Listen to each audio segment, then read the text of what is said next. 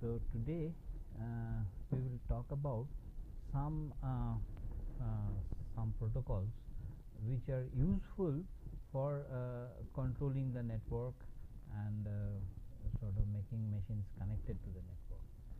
Uh, specifically under the broad class we will talk about DHCP and ICMP. so, we, and there are some protocols associated with this, so we will talk about. So, DHCP is dynamic host configuration protocol.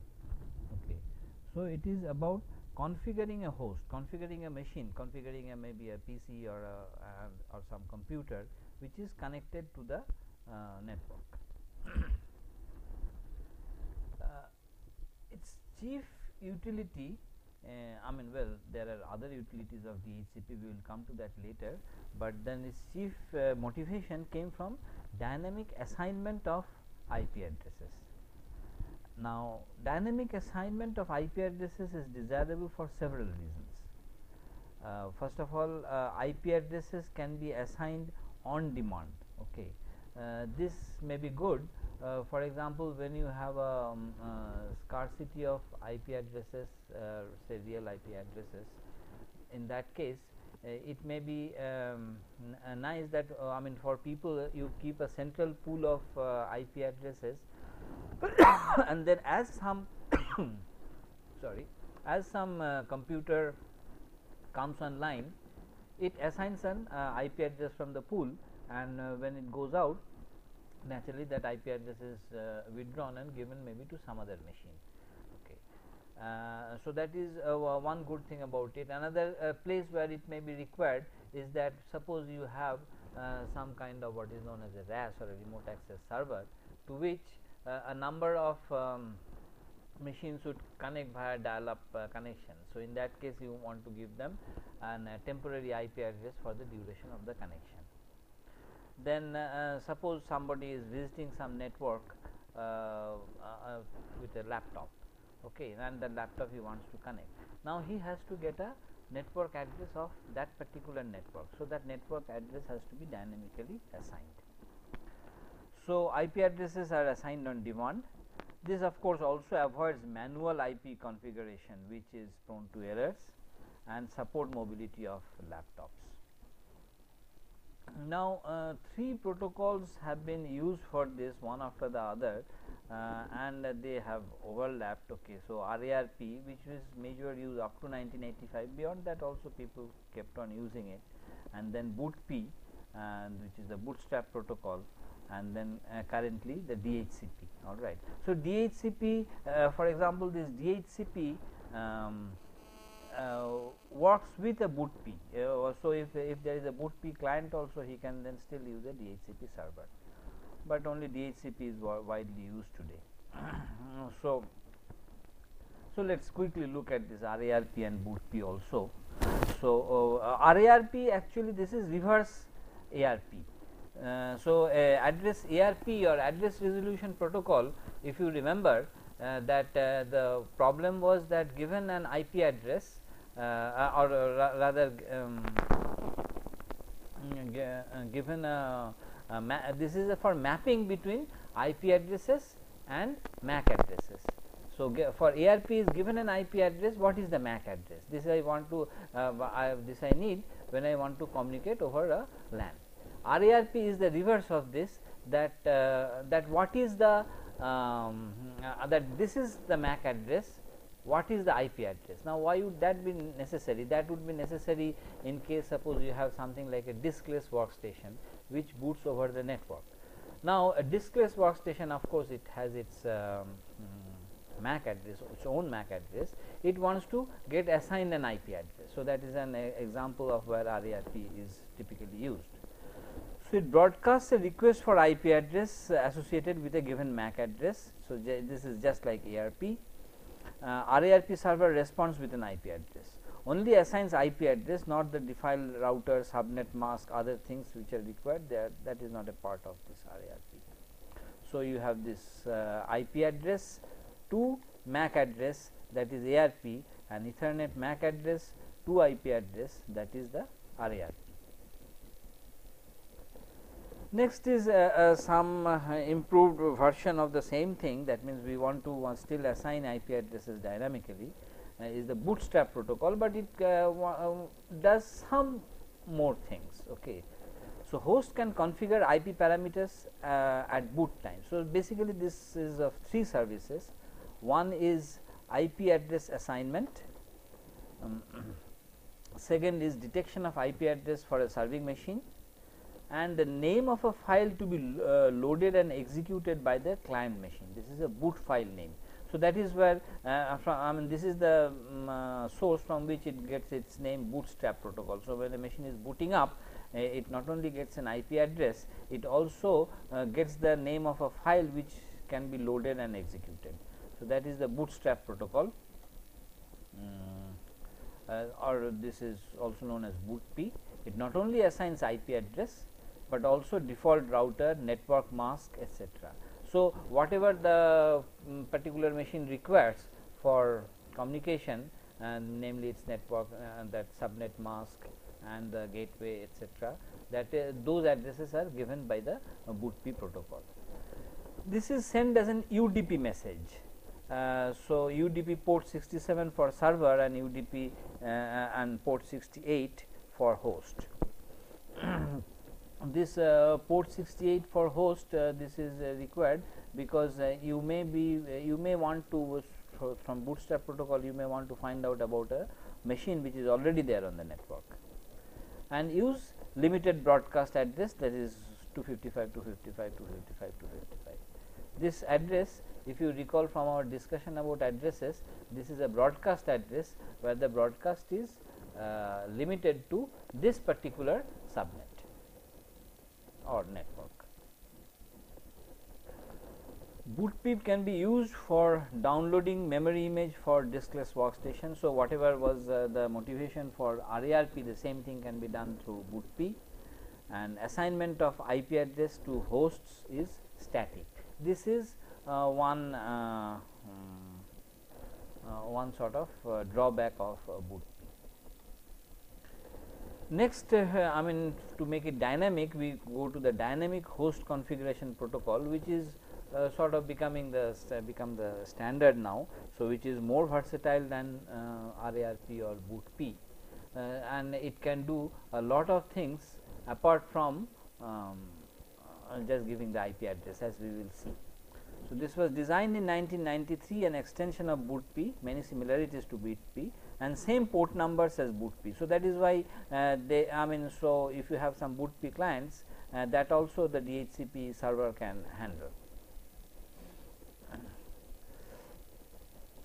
Some extensions, some important extensions, there are a lot of extensions especially with options, but these extensions supports temporary allocation or leases of IP address. Uh, by leasing of IP address we mean just uh, uh, recall the situation when we have a say a remote access server uh, and where people are dialing up. So, what would happen is that that would be given a particular IP address for a fixed amount of time all right and when its lease uh, expires that IP address may be withdrawn. So, of course, what would happen is that uh, maybe and we will come to that maybe halfway down the lease period uh, if uh, there is uh, no great demand for IP addresses then the lease may be automatically extended or if there is a great demand the lease may be withdrawn also. So, this is for a temporary period of time. So, that is how it is dynamic. DHCP client can acquire all IP configuration parameters. So, all types of parameters can be had I mean, so not only subnet mask and uh, uh, gateway uh, addresses which are also there in bootp, but then there are all, kinds of other parameters can also be downloaded from uh, DHCP server. So, DHCP is the preferred mechanism for dynamic assignment of IP addresses that is one thing and DHCP can interoperate with uh, bootp clients and it has a number of options. It is not possible to uh, mention all the options here, other DHCP information that is sent as an option. So, the number of options is actually greater than 100 number of possible options. So, these include things like subnet mask, network server, uh, uh, sorry name server, host name, domain name, uh, forward on off default IP time to leave broadcast address static route ethernet encapsulation x window manager x window font DHCP message type DHCP renewal time DHCP rebinding uh, time SMTP server SMTP server client uh, FQDN printer name. So, you see all kinds of uh, I mean as, as, a matter of fact as the number of services um, grew over uh, as the number of services which are given over a network as that grew it became uh, important to give more information to the machines. I mean originally the machine was just for communicating between two uh, computers, but as more and more services for example, there may be a centralized print service on the network. So, whenever you want to print something you fire the print job and it will be done over the network. Similarly, all kinds of other services become became available in the uh, local network as well as over wider network. So, as more and more services become available it became necessary to give this kind of. So, all of the all these would require some kind of uh, configuration on the host end because the host end must know what all are there. So, such information can be transferred uh, via this DHCP that is the main point. So, DHCP operation there are a number of them. I will mention them, uh, but describe only a few. Say DHCP discover. At this time the DHCP client can start to use the IP address. So, uh, it has uh, discovered. It. Renewing a lease. Sent when 50 percent of the lease has expired. If DHCP server DHCP NACK not acknowledge then address is released. Then the address has to be released. Then you know that uh, your lease is not going to be renewed. DHCP release at this time the DHCP client has released the IP address. So, client has uh, given it up. DHCP message header fields. So, so, some fields there is an opcode. So, either there is a DHCP request or DHCP that is from the client and DHCP reply from the server. So, they have opcodes 1 and 2 no, DHCP message type is sent as in an option. So, uh, what type of message? Hardware type which is 1 for Ethernet, hardware address length which is again 6 for Ethernet, hop count set to 0 by client and uh, transaction ID. This is an integer used to match reply to response if there are more than one uh, requests. Seconds the number of seconds in since the client started to boot. Client IP address, your IP address, server IP address, gateway IP address, client hardware address, server host name, boot file name. Uh, so, uh, there are all these fields are there. What happens is that when a client uh, sends the request, it uh, it would fill in whatever it is uh, whatever is known to him maybe the MAC address is known to him. So, he will put in the MAC address. So, all and other fields he will leave blank. So, that is the uh, message he will broadcast the DHCP server will pick it up and then fill up all the other uh, necessary um, fields and then uh, broadcast it back. So, these are all the different uh, DHCP message types like uh, so which is there in the option DHCP discover, DHCP offer, DHCP request, DHCP decline, DHCP acknowledge, not acknowledge, DHCP release, DHCP inform and so on. Okay. So, having discussed about uh, DHCP, our next topic is ICMP, Internet Control Message Protocol. Now, it is necessary because internet is of course based on the internet protocol. Now, IP protocol has some drawbacks. Uh, one of the uh, main drawbacks is that is a best effort delivery service, uh, but it lacks error control and lack of assistant mechanisms. Okay. Uh, uh, the point uh, the point is this that since um, this IP is a best effort delivery, it is understood that at some point of time the effort may not be enough and routers or other nodes on the network may have to drop packets or packets may not reach its destination uh, in time in proper order etc etc that may happen okay. But the uh, so so that part is accepted. But then if that happens uh, does the um, source get to know? Because if it uh, first of all there is no error control. And secondly if such errors do occur uh, there is no uh, message to the uh, sources okay. That, so that is one thing. Um, so that is a that, that is a lacuna. And secondly there is a you want to control the network for some reason. For example maybe the network is getting congested okay. So you want to do something about it you want to tell others uh, something about it but ip does not have the mechanism. So for all this purpose this icmp was brought in so, uh, what happens when something goes wrong? What happens if a router must discard a datagram because it cannot find a route to the final destination? What if the time to live field has a 0 value? What if it has to discard all fragments because not all were received in a predetermined time limit? So, all the, in all these cases IP has to discard uh, a packet and similarly then there are other um, other situation. For example, maybe it has reached the destination, but the port is not available okay things like that. So, IP protocol also lacks a mechanism for host and management queries. So, ICMP was designed to compensate for these deficiencies. So, IPM uh, ICMP has a type field its a message type is a type field indicates the type of ICMP message being sent and the types we will come to that it may be queries or it may be errors. Uh, code field gives further info information specific to the ICMP message. So, uh, for example, for an error what kind of error it is checksum field used to verify the integrity of the ICMP data. Uh, so, once again a checksum is included to control the error. So, these are the, as I was saying the type of message there are two types we have the ICMP message we have error reporting and we have some query response kind of thing. So, if there is some error, so this kind of IP uh, this type of uh, ICMP message would be generated and if there is a query uh, another type of ICMP message would be generated.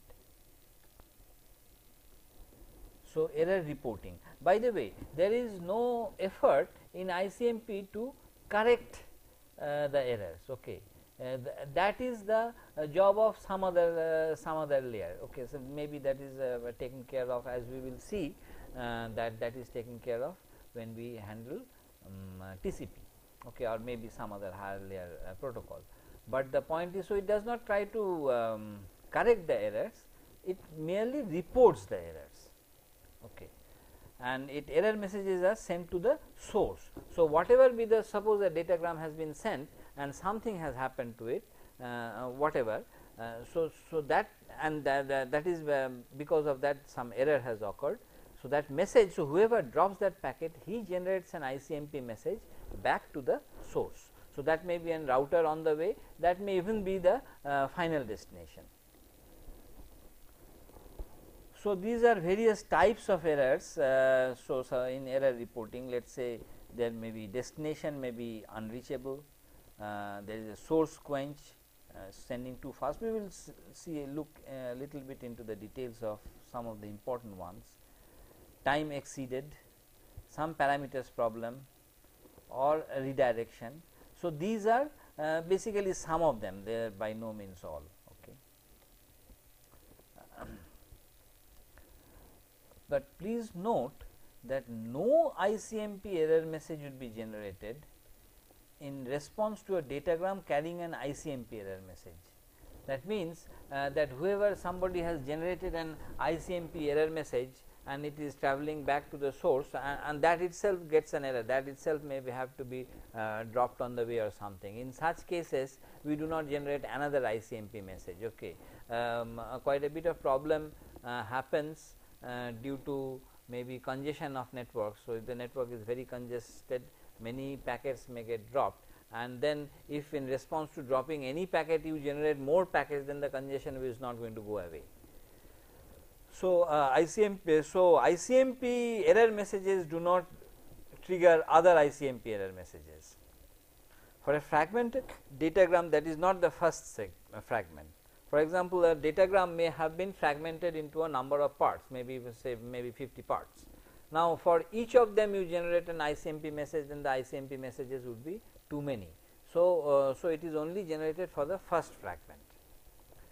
For a datagram having a multicast address once again um, this is uh, I mean we cannot send uh, ICMP messages to all members of the group uh, and for a datagram having a special address such as, as this loopback address or some address like that. So, the, so no ICMP error messages are generated for these. So, all error messages contain a data section that includes the IP header of the original datagram plus the first 8 bytes of data in that datagram.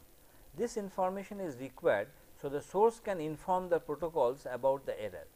Uh, what would uh, happen is that uh, the from the original packet which was let us say dropped from that the IP header is uh, sent back. So, that you know that uh, first of all you have to know that to which machine which is the source where do you want to send back this ICMP message and secondly even after this ICMP message gets back uh, to the um, specific machine from which the original packet had uh, was I mean generate was uh, generated. So, at that point uh, this may be uh, this may have be some error message due to the network intervening network maybe the network is too busy or congested or this may have to do something with some uh, process or application which is uh, running on the source machine. So, uh, now uh, so after getting that uh, message it must know uh, to whom to tell that host machine must know that to whom which process this relates to. So, that is why some part the initial part of the original datagram that means the IP header of the original datagram plus the first 8 bytes of data in that datagram you would understand that uh, after the IP header uh, what comes is the transport layer header. So, the part of the transport layer header also goes into the um, uh, goes back along with the ICMP message. This information is required so that the source can inform the protocols about the error. Now, one type of error message is destination unreachable. When a router cannot route a datagram or a host cannot deliver a datagram, in that case the destination is unreachable. A router cannot detect all problems that prevent the delivery of a packet. Uh, so, it is not always possible to exactly know why the uh, destination is unreachable, but at least this information that the destination is unreachable that uh, goes back to the source. Source quench. Uh, so, this is a crude attempt to implement some kind of flow control.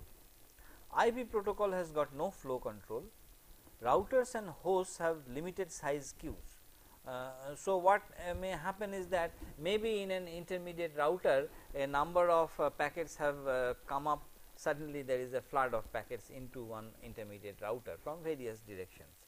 So, what it will so what will happen is that its buffer is going to overflow it will not be able to process because there is a limit uh, depending on the speed of the router etc. there is a limit how fast packets can be processed uh, and forwarded uh, by an intermediate router and uh, if other packets keep coming in within that time they are going to be stored in the buffer.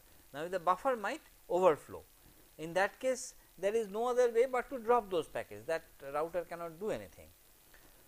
So, that is uh, uh, that is this thing. So, what um, uh, this router desperately wants to tell other people in the network is that please slow down on sending packets I cannot handle it I, am overwhelmed. So, he is basically trying to uh, slow down the um, this thing uh, so slow down the message uh, slow down the flow of packets into itself.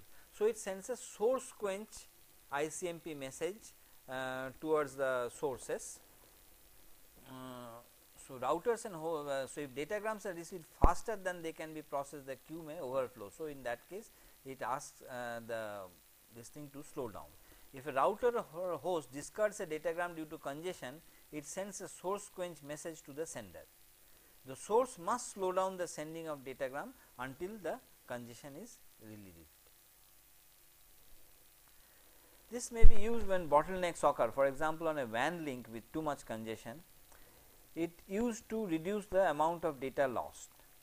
Now, warning source quench messages will in turn generate uh, network congestion because uh, there were already too many packets in the network, but you have uh, sent a source quench packet uh, towards the uh, towards the source. So, what is going to happen is that in the router immediately before uh, that um, um, I mean the in one which is just one hop towards the distance towards the source he will get he was already getting packets from the source and he will also get an ICMP message from the router uh, just one hop down. So, he is now having more packets. So, this way actually what will happen is that congestion might travel uh, towards the source, but anyway after finally it reaches the source that source will hopefully slow down and all this will die down. Time exceeded.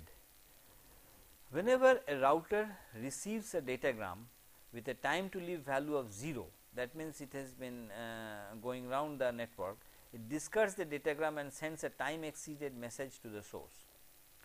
When the final destination does not receive all of the fragments in a set time it discards the received fragments and sends a time exceeded message to the source. So, these are two uh, different cases one uh, one is that the in the destination all the fragments did not reach some of the fragments never reached uh, so, there was a specified time after which it has to drop all the fragments and sends a time exceeded message to the original source.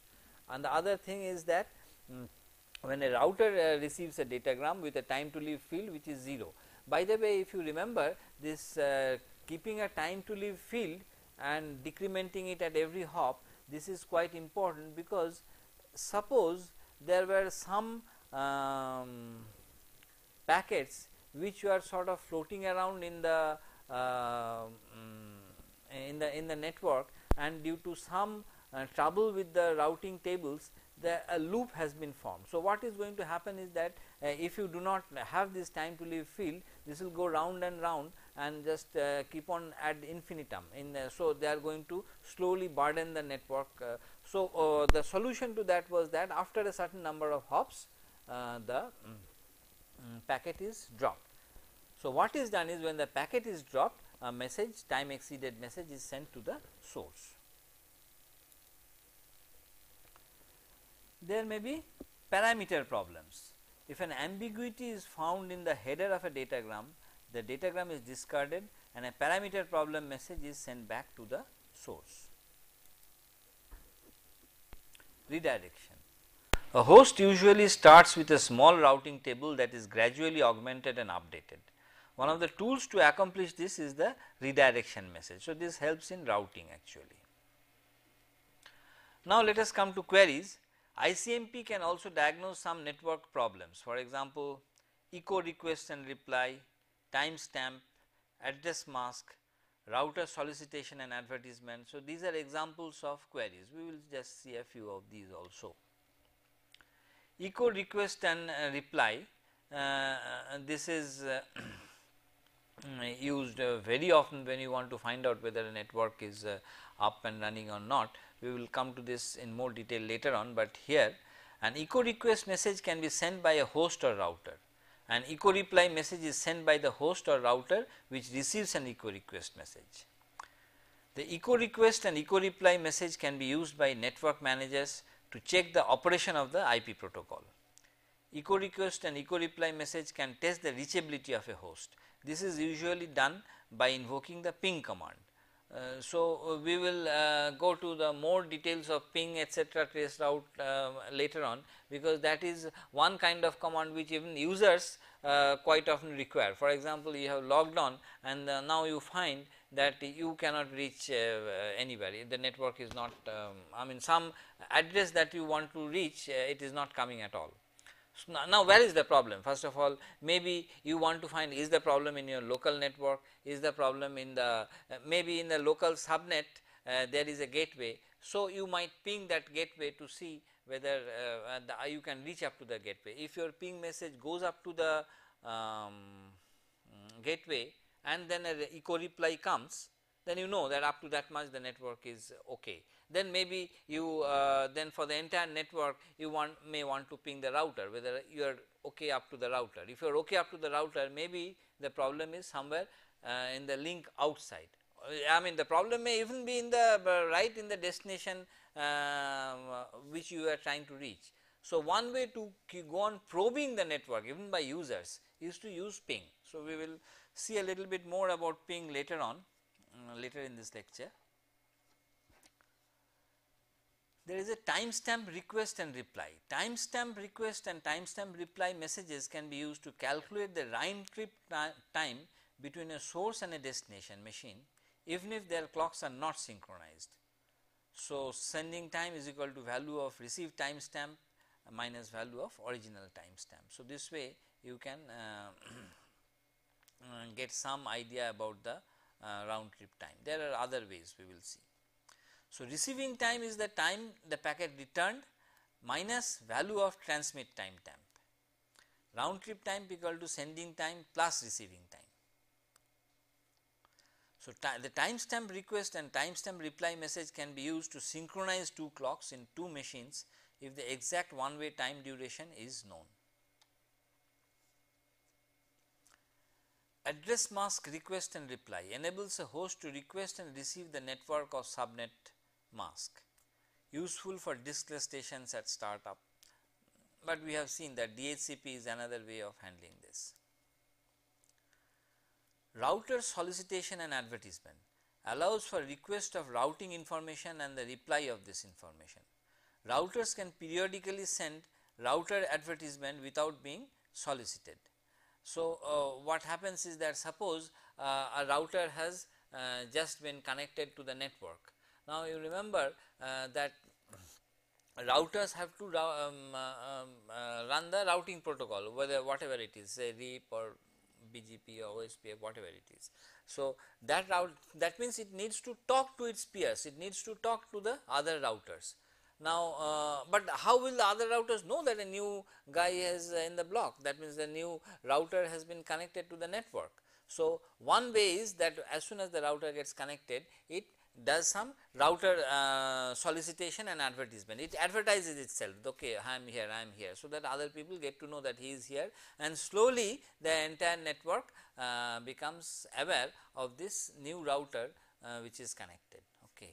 And similarly, say a link may go down and all kinds of other things may happen. So, this router uh, exchange of router information that has to happen through some mechanism. So, this is one. Router discovery message. Host can learn about available gateways to other networks. Host send a router solicitation message to begin the process using the multicast address of 224.0.0.2 as the destination. May also be a broadcast message in case a router does not accept multicast messages. When a router receives the message, it will advertise its available gateway. And finally, the checksum of the ICMP message. In ICMP, the checksum is calculated over the entire message that is the header and data combined. This is just to keep some control over errors. Clock synchronization. Software may require time synchronization. Uh, so, ICMP timestamp message combat this problem as we have already discussed allows local host to ask for current time from remote host using ICMP timestamp request. So, type 13 and then remote host uses ICMP timestamp reply which is type 14. So, better way of synchronizing clock may be to use network time protocol that is a different thing we are not discussing it here and the time is the UT the universal time. Now, a little bit more about uh, ping and trace route. Uh, these so as an overview I mean and of course this is a part of the ICMP messages, but since these are so useful uh, I thought that I will just discuss it uh, specially a little bit. So, ping sends an ICMP message to a remote host and lets you determine if that host is responding. Actually ping uses that echo uh, and echo reply uh, for this the, that ICMP message. And trace route uses TTL fields to query all hosts en route to a specific destination. You can use trace route to map a network. Uh, that means you want to know which is the route you are tracing. I am coming to it. Now, let us first uh, talk about ping. It is uh, named after sonar. You know, in uh, sonar you want to probe some place. So, you send an ultra uh, sound um, signal just like you do in a radar and if it bounces off something you get a ping. Uh, okay. So, that is where the name comes from. So, you want you send an echo request and you expect an echo reply that is your ping. So, server normally implemented in kernel uses ICMP echo and echo reply messages. On Unix the identifier field is set to Unix PID of sending process. Sequence number starts at 0 incremented every time a new echo message is sent. Actually what happens is that usually I mean of course you can configure it that uh, when you uh, do a when you ping a machine not just one request is sent uh, because think about it this way um, the machine you are trying to ping uh, that channel uh, may be noisy. Okay. If, if that happens uh, your echo request or the reply may um, get dropped in between. So, sending one uh, request uh, is was not thought sufficient. So, maybe 3 times or 5 times you can mm, sort of configure it. It sends echo request and it expects all the 3 or all the 5 replies maybe it uh, receives none of them. Okay. So, in that case it will say that okay 100 percent packet loss or it will it will just uh, get maybe uh, 2 out of 5. So, it will say 60 percent packet loss and 40 percent and this is the time. I will show you uh, one example of a ping. Suppose uh, we have a ping the machine 144 16 192 182 1 okay uh, so, uh, so we have pinged this machine, um, I simply say ping and then give the IP address over here. By the way, you could also use a if you have a name server on the network, you could also put a name over there. Anyway, ping 144 16, uh, uh, 56 data bytes that is your data plus it will have something we will come to that calculation later on. So, you may get a result something like this 64 bytes from so this is the uh, I mean the, I mean this is what you are getting from the echo uh, rec, uh, echo reply.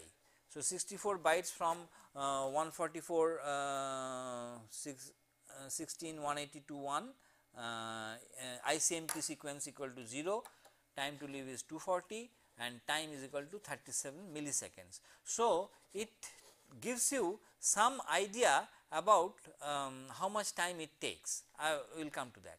So, then another packet has come back as an echo reply 64 bytes from the same machine uh, sequence number 1 and time is so much, so much. And at the end of all this, so, so for each packet that it receives back as a reply, it is going to uh, print a line like this. And then finally, it will give you a statistics. Maybe it will something like this, is a 13 packets transmitted, 11 packets received which means that it had originally sent 13 packets and it got only 11 packets back. Uh, so, 2 packets must have got lost. Okay. So, 15 percent packet loss and uh, round trip time you may the mean average max. Uh, so, maybe it can you so from the ping you can get an idea about the uh, round trip time. So, this is uh, one uh, answer um, and some details on the output. Sequence number is shown for each message. In our example message returned in order, but we lost some packets. The may returned may be out of order also. TTL field of return message is uh, displayed and round trip time is calculated at the host based on the sequence number. So, we can estimate the bandwidth also not only the round trip time uh, we can try to use for that means of course, this works only for a few hops okay if it is beyond a number of hops your ping will not work, but anyway the ping packet um, so it can estimate the bandwidth 20 byte IP header let us say what is the total So, 20 byte IP header, 8 byte ICMP header, 56 byte message. This can be set by the user. So, total datagram size is that uh, so 76 plus 8 that is 84 bytes. So, 84 bytes was sent. Now, PPP suppose it was sent through a PPP. So, it will add about 8 bytes for total size of 92 bytes. So, this connection looks like uh, so 92 divided by 0.180 uh, by 2 that is about 1069 bytes per second. What is this 0.180? So, uh, if you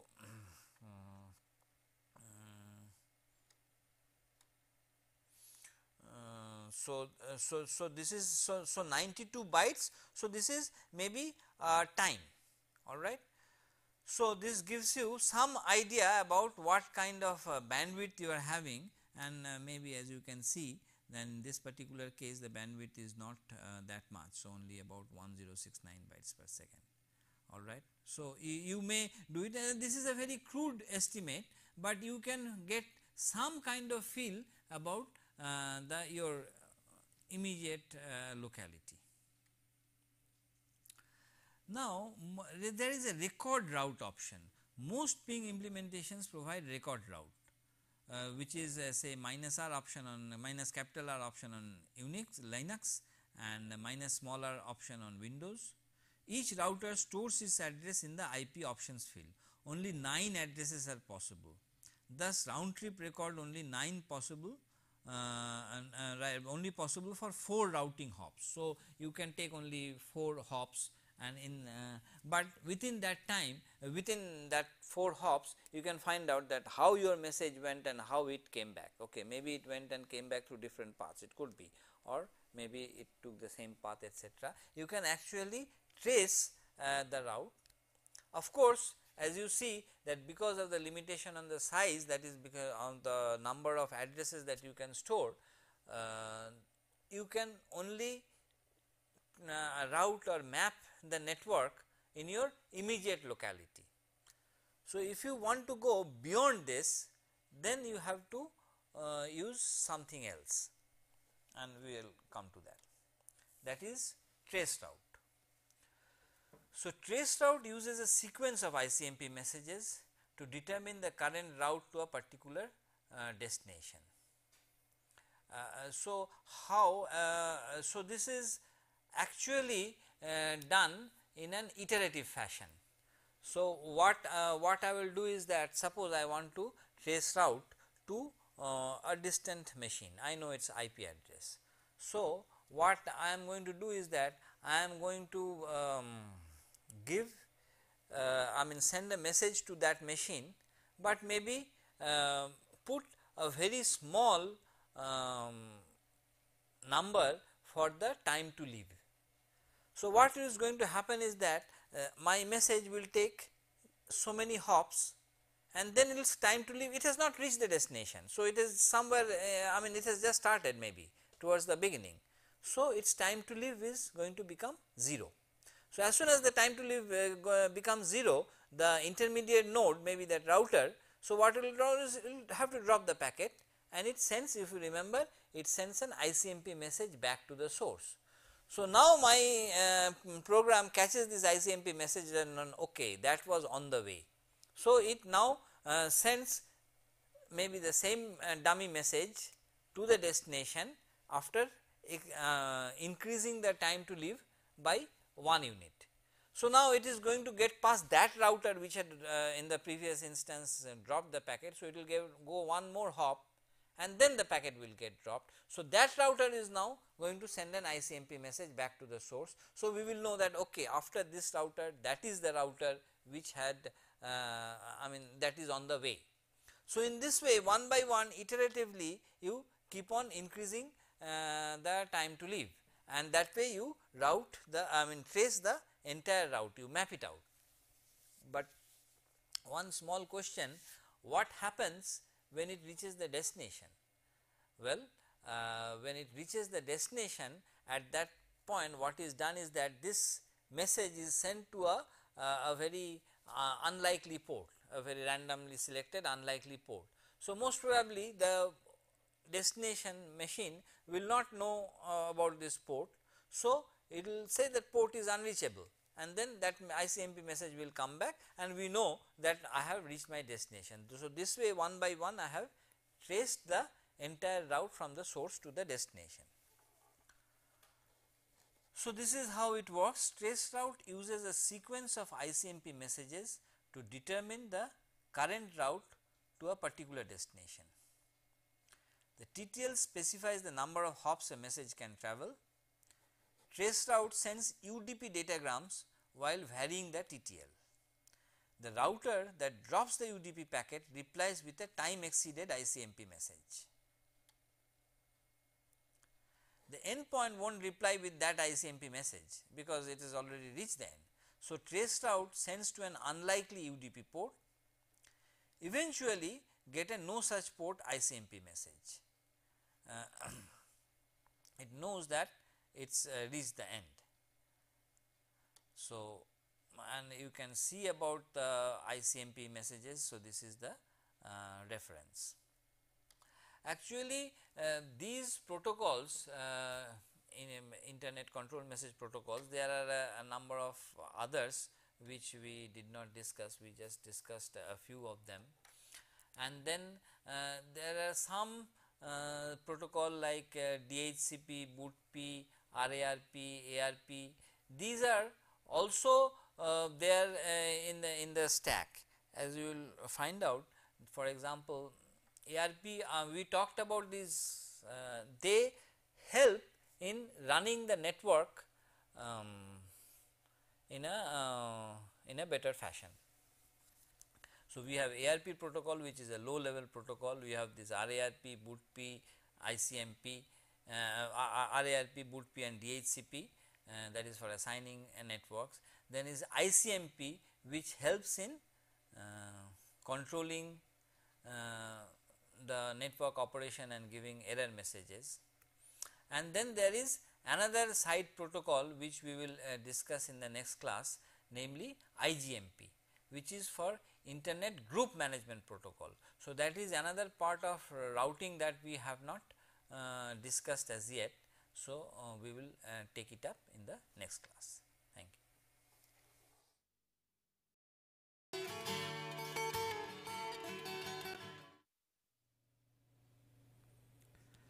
Good day. So, today we will take up two topics uh, DNS and directory. So, first let us talk about DNS. The DNS is uh, the um, short form for domain name system. Okay. Now, so uh, we have seen uh, uh, two kinds of addresses till now. One is that we have seen uh, MAC addresses or the so called hardware addresses. In case of Ethernet, they are also called Ethernet addresses, uh, which is used in the data link layer for direct communication. Then we have seen IP addresses which are used for uh, communication between two endpoints all right? Uh, two endpoints in the um, network so they may be anywhere in the network. So uh, IP address includes information used for routing. So IP address is what is used for routing. There is a network part and host part etc okay. But then unfortunately these IP addresses are tough for humans to remember. You can remember only a few addresses and which you basically require for your uh, own configuration etc. Maybe you need to know your own IP address, your address of your gateway etc. etc. But then uh, maybe also address of your uh, for your uh, mail server. But then beyond that if you have to remember IP addresses of other people it becomes very difficult for human beings to remember this okay they and of course they are impossible to guess. But then uh, what humans uh, find it much easier to remember and use are the uh, domain names. So, are the names for example, um, and the domain names I mean you must have come across these domain names uh, because uh, that is what people uh, most of the time that is what people use in uh, surfing the web. And for a www site sometimes you can see that you may not maybe you do not know the name exactly, but you make out 3 4 guesses uh, maybe make some combination dot .com dot .net etc on this side and this side something which looks maybe Intel uh, this thing. So, I will try intel.com first thing okay maybe if it does not work maybe I will try a few other things. So, we can guess. So, and not only we can guess the other thing is that the most important thing is that it is uh, much easier to remember. So, we need remember so many site names. So, it is easier for humans to remember.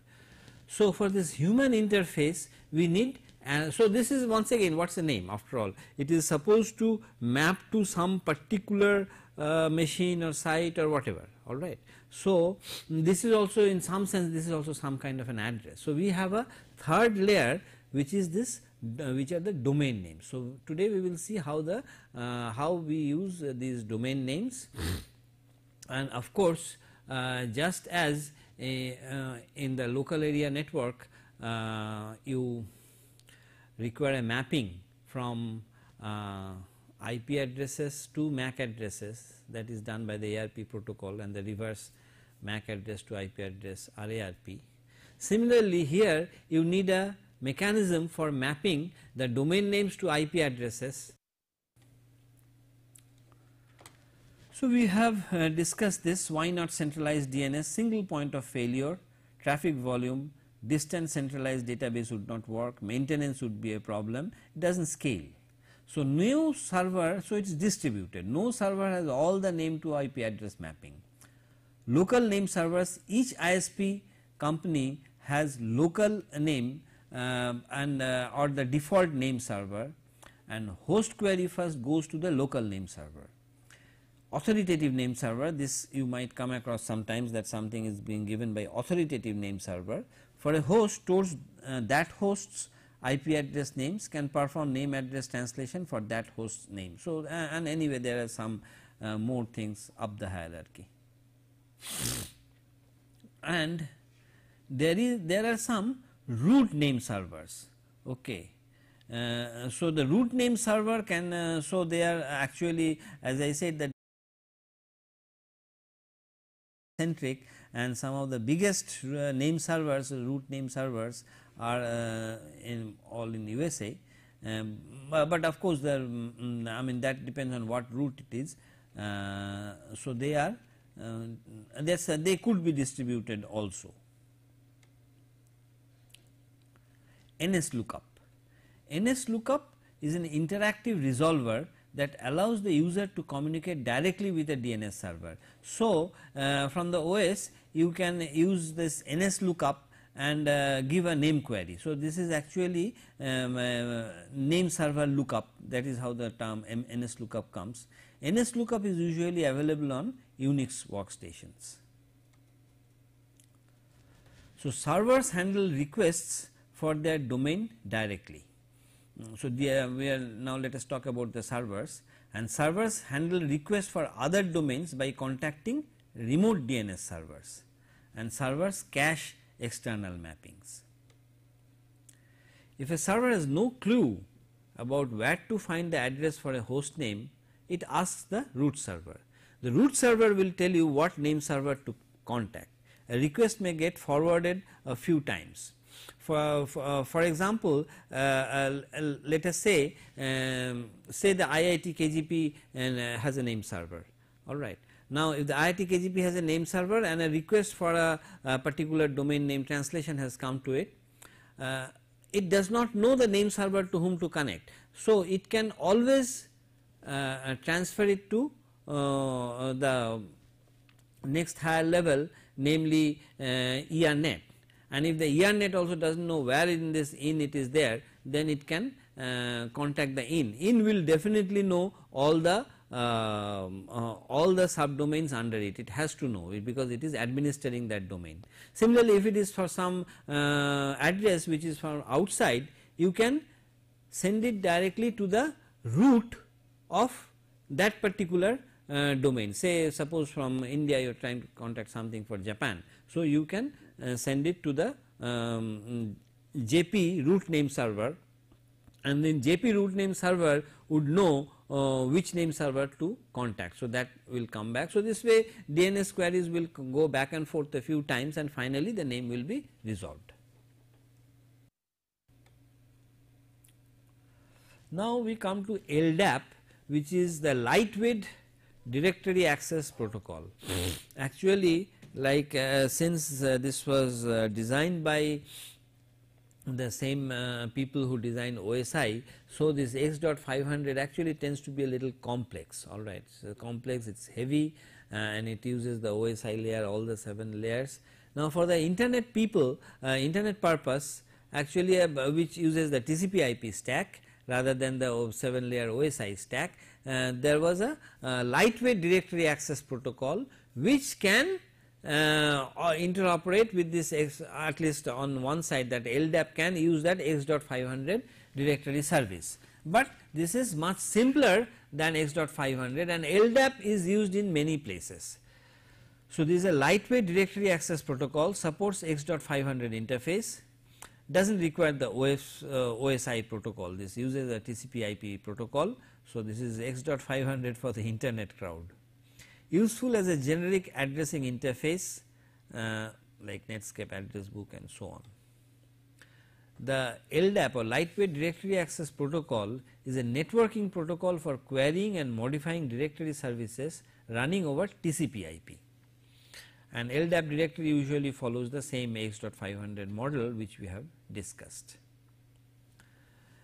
Now, it is a tree of entries we each of which consists a set of named attributes uh, with values. An LDAP directory often reflects various political, geographic and or organizational boundaries depending on the model chosen. And uh, when you do that you can also define your uh, security policies based on this uh, directory and based on this uh, boundary. So, you can do that authentication service specially so, a directory is a tree of directory entries that we have seen an entry consists of a set of attributes and attribute value pairs and the attributes are defined in a schema. So, this is the so this would be the uh, protocol stack uh, for LDAP. So, you have a directory based application okay maybe some authorization service or maybe some access to some um, some information which may be there for the organization which uses LDAP. LDAP may use TLS, this TLS is transport level uh, security. So, uh, transport level security actually you could use SSL also. Actually I am talking a lot of uh, lot about security here. Uh, we have not discussed security. So, we will in future we will uh, sort of um, give one lecture to security because this has become so important.